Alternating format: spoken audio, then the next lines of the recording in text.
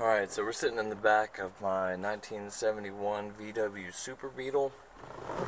And it's hot as fuck right now, but uh, we're sacrificing pop-up win pop-up back windows to come soon anyways.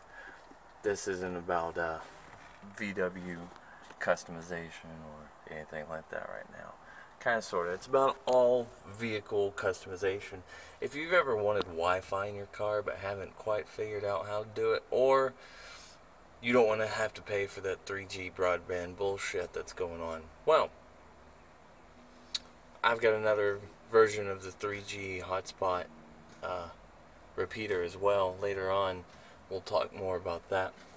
But what I've got to show you right now is my uh, Linksys uh, WD, my Linksys WRT54G2 version 1, flashed with DDWRT. Um, version 24 SP2 and uh, let's go ahead and show you that.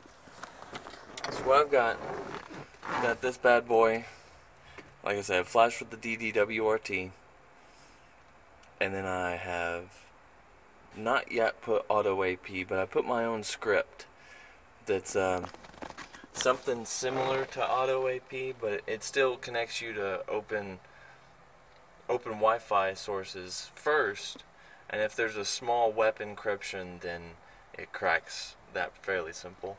It's kind of like the uh, same source code that they used in the Wi-Fi Robins. Very similar. So just to show you that it works I'll show you my little network meter here. See if you can see it. Uh, I'm hiding my IP from you guys. So that's what it's called right there is VW Wi-Fi. I know it's kind of nifty and um, I'm pretty good right now. My load speed is at 29 megs and my downloads at 413 right now.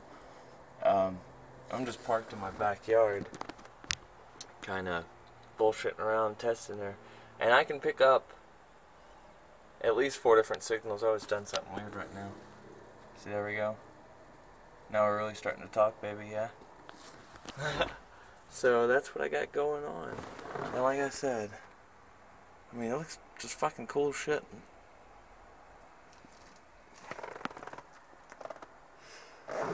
Oh, but yeah, later on I'm going to show you how to do the 3G uh, broadband crack that I figured out.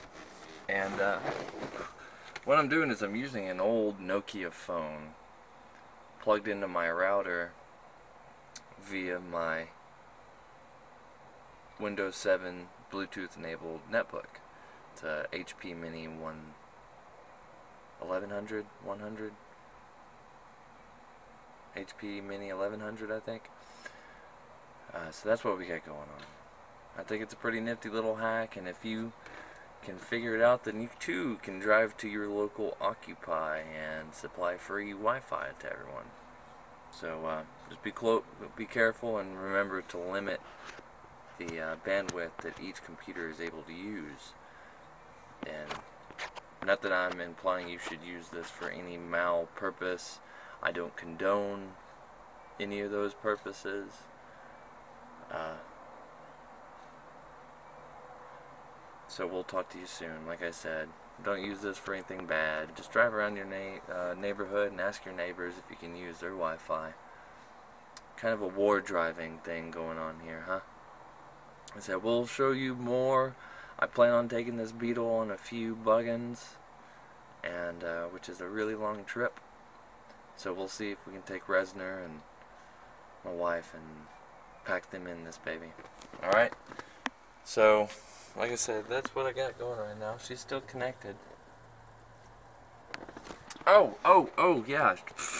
You can't just connect to any open source. You have to use your own virtual interface or your own virtual router. So you can do that either one of two ways. You can have a hard line, which is how you have to set this thing up. You have to have the Ethernet plugged in from I use port number two, some people use port number three, whichever one works best for you, I don't give a shit. Um, you can either use the, like I said, the hardwired, or you can do it Wi-Fi via Wi-Fi. But that opens up potentially a can of worms to anyone who knows what they're doing. So, if you don't want anything crazy going over your network, be sure to encrypt it. And we all know WEP isn't shit. Right now, WPA is not bad. WPA2 is a little better, but if you can do the PSK, I say go for it. Um, if anybody has any recommendations on how I can make this baby invisible, I know I can get rid of the SSID, but I want to be able to broadcast it but stay independent. But maybe I think I could use a proxy. Alright, so we shall talk to you later. I'll give you one more look at what I got going on. I said no no other plugs other than the power cable there. See?